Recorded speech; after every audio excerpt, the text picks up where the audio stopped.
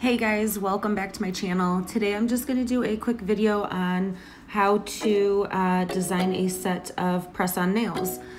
So here I'm just going to remove the shine. So I'm just going to use a black buffer and just rough it up a little bit. We want to remove the shine so that the gel polish that you're going to be applying on top will have something to adhere to. If it's too smooth, it won't stick and it'll just peel up.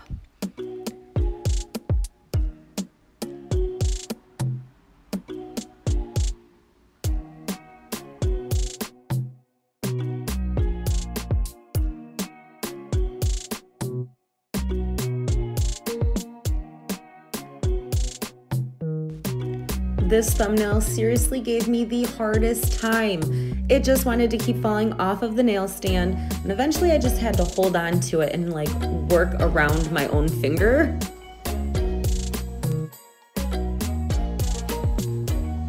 Okay, so next I'm just gonna take a file and uh, shape up the free edge of the nail. I'm gonna get that little plastic piece that's always at the tip of um, the nails. I'm just gonna file that off and smooth it. And then I'm gonna take a fluffy brush and just wipe off any dust that's left over.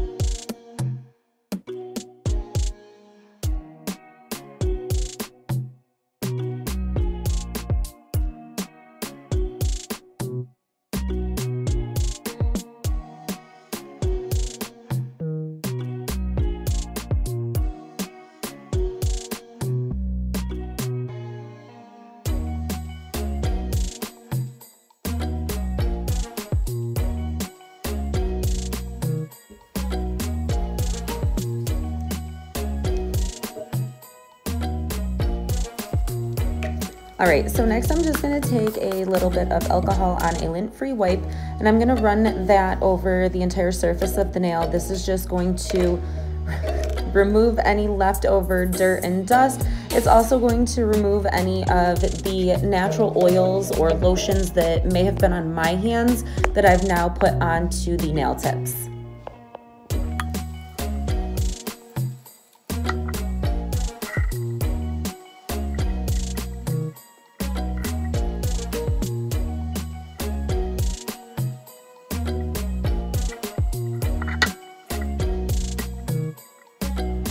And I'm just gonna go in now with a thin coat of, um, uh, what did I use? The Gelish uh, foundation.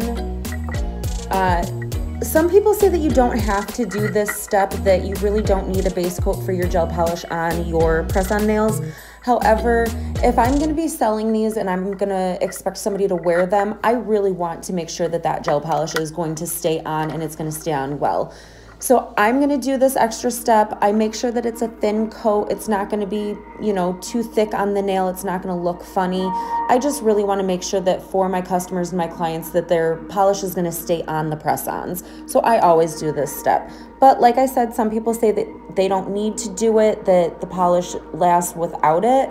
But just for my own peace of mind, I so like I did go ahead and cure that in my LED light. Now I'm showing you the polish colors that I'm going to be using. So this is Madam Glam Fancy Bikini.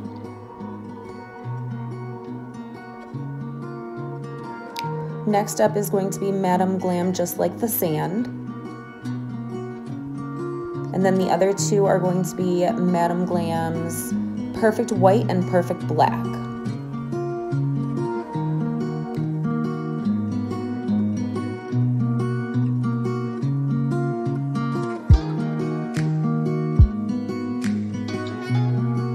I'm just going to go in with a thin coat of the Fancy Bikini. And I really make sure that I focus on the sidewalls. The last thing I want to do is get done with a set and then realize that, you know, I wasn't paying attention to the side and I have missed a spot and then I have to go back and fix it.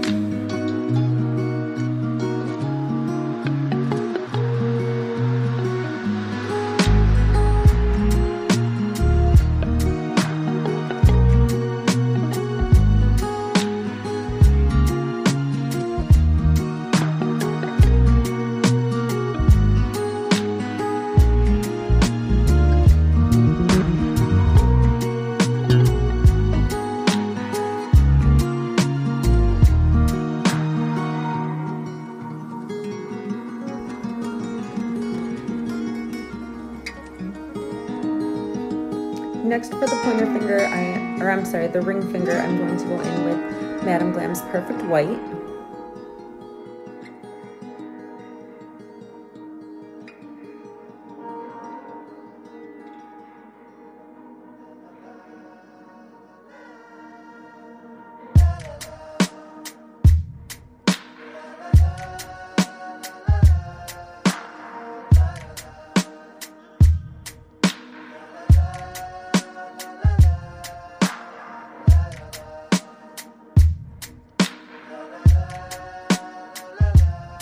This is the middle finger and this is Madam Glam's Just Like the Sand.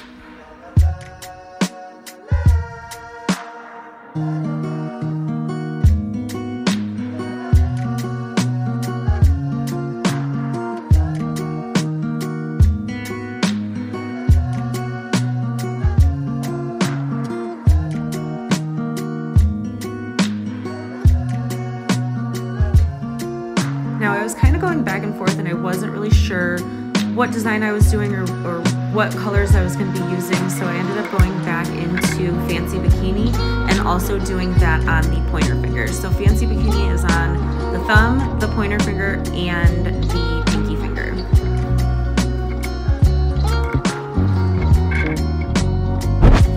Once I cured that in my LED light, I went in with a second coat of all of the same colors.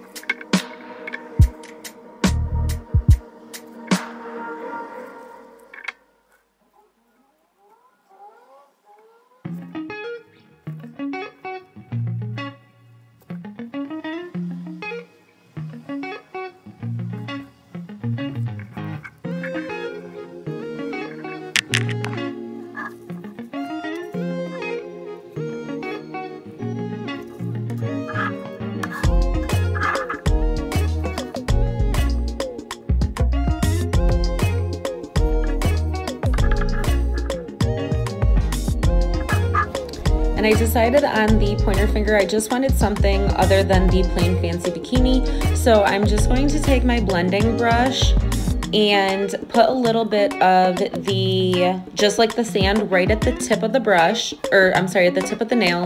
And I'm gonna take that brush and just kind of feather it in and smooth it out so that I get a little bit of a gradient um, glitter effect.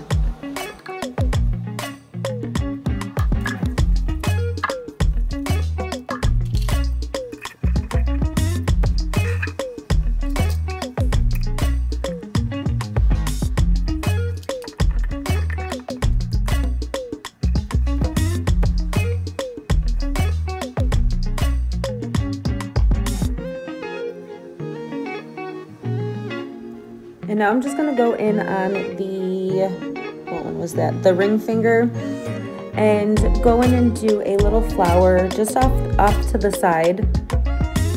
So I've got a couple different colors um, on my palette and I'm just gonna take light little strokes and I always do my outline really thin and really small and light so that it's a lot easier to clean up and fix if I make any mistakes.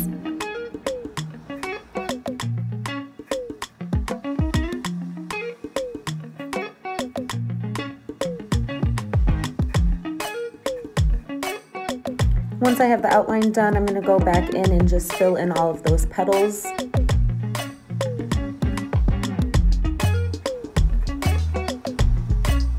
I'm gonna cure those uh, in my LED UV light.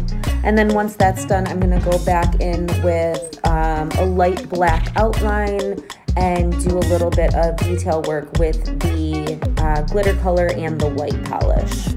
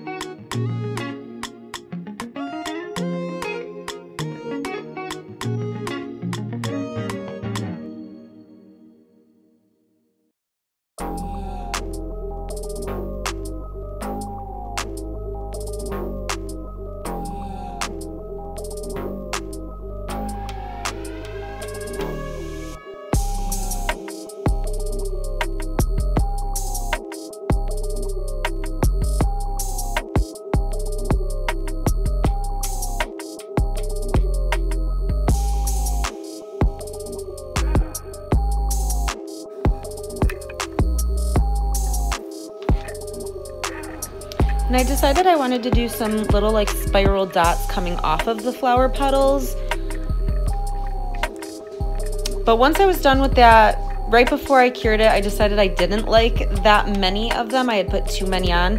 I really just liked the one uh, swoop of them.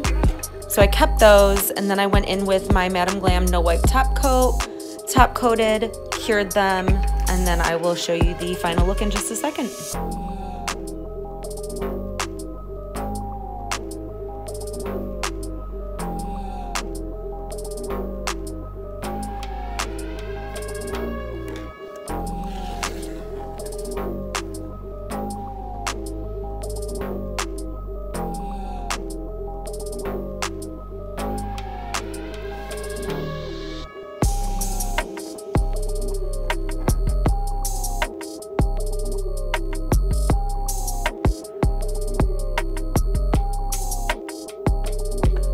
And here they are, guys. This is a really cute and simple um, set of press-on nails.